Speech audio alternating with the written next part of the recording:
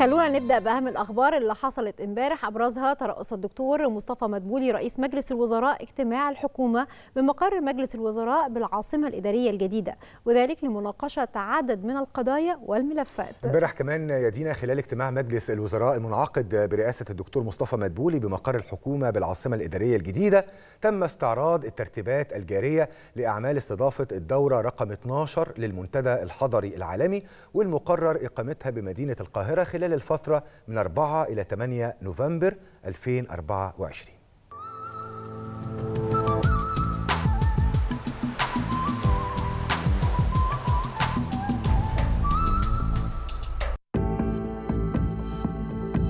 أخبار كتير حصلت امبارح. أبرزها ترأس الدكتور مصطفى مدبولي رئيس مجلس الوزراء اجتماع الحكومة بمقر مجلس الوزراء بالعاصمة الإدارية الجديدة لمناقشة عدد من القضايا والملفات. خلال الاجتماع أثنى رئيس الوزراء على الجهود اللي بذلتها الحكومة لجذب الاستثمارات الأجنبية في الصناعات المستهدفة اللي أثمرت عن افتتاح مصنع بيكو للأجهزة المنزلية، وهو ما يمثل رسالة إيجابية قوية عن الاقتصاد المصري بوجه عام. وإن الحكومة اتخذت إجراءات وتيسيرات واسعة أسهمت في جذب كبريات الشركات العالمية المتخصصة في صناعة الأجهزة المنزلية مؤكدا استمرار الحكومة في سعيها لجذب كبريات الشركات العالمية في مختلف القطاعات والمجالات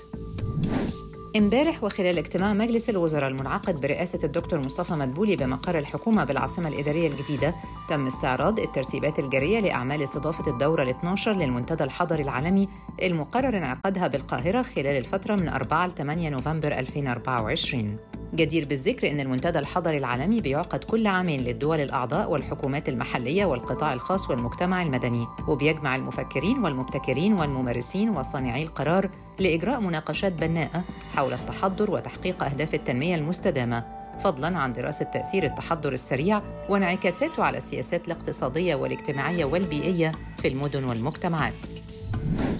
كمان امبارح استعرض المهندس محمود عصمت وزير الكهرباء والطاقة المتجددة خلال اجتماع مجلس الوزراء اللي عقد برئاسة الدكتور مصطفى مدبولي جهود الوزارة لخفض الفقد في شبكات توزيع الكهرباء. في مستهل عرضه تناول الوزير جهود التعاون مع العديد من الشركات العالمية المتخصصة بهدف التعامل مع مشكلة الفقد الفني وغير الفني في شبكات توزيع الكهرباء وفقا لأحدث النظم والتكنولوجيات المطبقة في هذا الشأن مستعرضا عدد من المشروعات المنفذة والجاري تنفيذها في هذا الصدد.